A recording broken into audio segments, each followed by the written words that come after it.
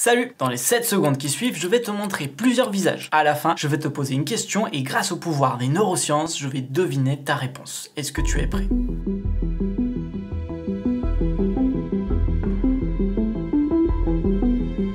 Ma question est la suivante. Lequel de ces visages préfères-tu? Essaye de pas trop réfléchir, réponds par instinct. T'as fait ton choix La photo que tu as préférée est celle-ci.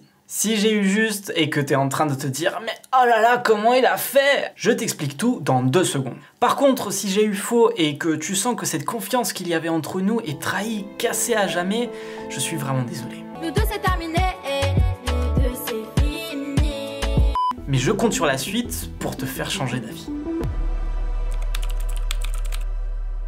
La petite expérience que tu viens de réaliser permet d'expliquer un biais cognitif, un raccourci de raisonnement que fait très souvent ton cerveau. C'est l'effet de simple exposition. C'est quand tu es face de manière très répétée à une même personne ou à un même objet, tu as tendance à avoir plus de sentiments positifs envers lui. Dans le cas de cette expérience, j'ai fait exprès de te mettre cette photo un peu plus souvent que les autres. C'est pour induire un effet de simple exposition au niveau de ton cerveau pour que tu la préfères. Et oui, je t'ai manipulé.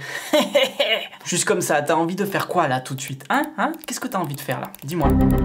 Cet effet cognitif a permis en 2015 à des scientifiques de tirer une conclusion assez étonnante. Les hommes préféreraient voir leur visage inversé plutôt qu'à l'endroit. Ah ça paraît bizarre comme résultat, mais en fait, c'est tout bête. De manière générale, on préfère voir notre visage inversé, tout simplement parce qu'on a l'habitude de le voir inversé. Quand on se regarde dans le miroir, on voit le reflet inversé de soi-même. C'est pareil quand tu mets ton téléphone en mode selfie. Par contre, quand c'est quelqu'un d'autre qui te prend en photo, tout est à l'endroit, à l'inverse de ce que tu vois dans le miroir. C'est comme ça que le reste du monde te voit d'ailleurs. Et cette image de toi, eh bien, t'as tendance à pas trop l'aimer parce qu'elle t'est moins familière. Ce qui fait au final qu'on adore les selfies de nous-mêmes et qu'on n'aime pas du tout les selfies des autres parce qu'on est habitué à les voir inversés. Euh, T'en tronche ou quoi? Pour se faire un bouquet sur Halloween si tu veux, hein? C'est hyper égocentrique, normal que la planète parte en couille Eh oh Tu me parles autrement, oui? Cet effet de simple exposition ne se retrouve pas que pour les visages, il est présent partout. Des études ont pu l'observer avec des mots, des sons, de la nourriture. Tiens,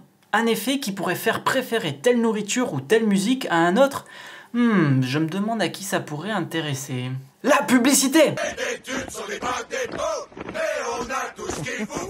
Ils adorent l'effet de simple exposition. On a tous déjà été manipulés par cet effet sans trop faire attention. La radio ou TikTok qui favorise une musique plus qu'une autre, McDo qui propose les mêmes recettes partout dans le monde, des politiciens qui apparaissent un peu partout et de manière répétée à l'approche des élections. Mais il n'y a pas que le côté obscur de la force. Jeune padawan. Certaines campagnes de communication ont utilisé cet effet pour combattre les préjugés raciaux, par exemple. Une étude en 2008 a montré que plus une ethnie est affichée dans les médias, plus elle provoque des sentiments positifs auprès de son audience. Ce même effet est aussi utilisé en psychologie pour lutter contre les troubles anxieux. On appelle ce procédé la désensibilisation systématique. Elle consiste à montrer de manière de plus en plus répétée ce qui nous rend anxieux, pour s'y habituer petit à petit à sa présence et provoquer plus de sentiments positifs. Bref, c'est complètement ouf. Tu ne t'attendais pas à apprendre tout ça en cliquant sur cette vidéo à vous, hein Avant de te quitter, j'ai une petite question pour toi. D'après tout ce qu'on vient de voir, penses-tu que l'existence de certains partis radicaux soit due en partie à un effet d'exposition provoqué par les médias? C'est tout pour moi, à la semaine prochaine.